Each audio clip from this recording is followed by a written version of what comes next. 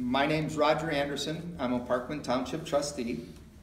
And we have had a problem and still have a problem with dust control on 17 and a half miles of our township roads. Dust was so bad, it was like a cloud from the traffic coming down the road.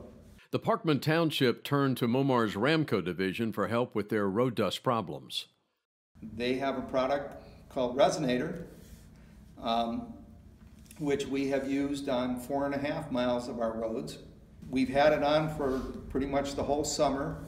Um, instantly, there was, I mean, after the first time the guy goes down the road spraying this product, the dust is gone.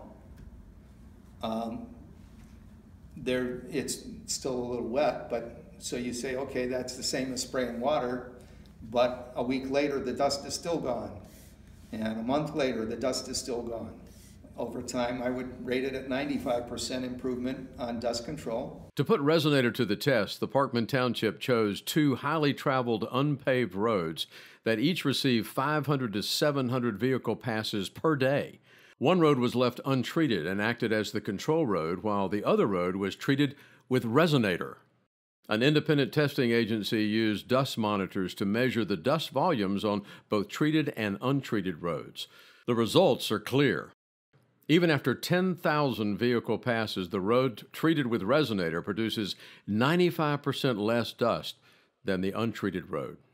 We wanted to um, try to solve our problem. We were looking at um, doing chip and seal. Chip and seal was approximately 10 times the cost of what it would be to do um, the resinator. We put a levy on the ballot for chip and seal, which would have been a seven mil levy, and it was voted down very harshly. Um, we put a two mil levy on to do the resinator. They finally voted in the, the two mil levy to give us a chance. We started with a one mile section of road to do a test mile, and um, the test proved very well. And then we have now increased that over time and, and money available to about four and a half miles of our road that are treated. Cost is a major concern for the Parkman Township. We asked how the investment in Resinator would pay off. This year, we didn't put any limestone on the roads that we treated. Um, and we're hoping over uh, going forward to reduce by 50 to 60 percent our total limestone usage.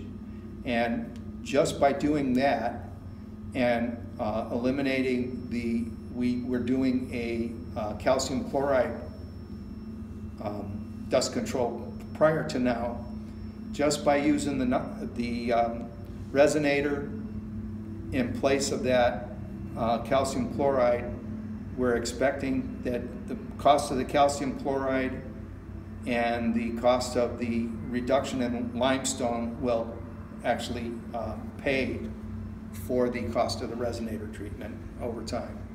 The calcium chloride we had to do two to three times a year and we still had complaints about dust. With the resinator, we haven't had the dust complaints after application, literally no dust complaints except for the people that lived on the roads that were untreated. they complain, when are, when are you going to do our road?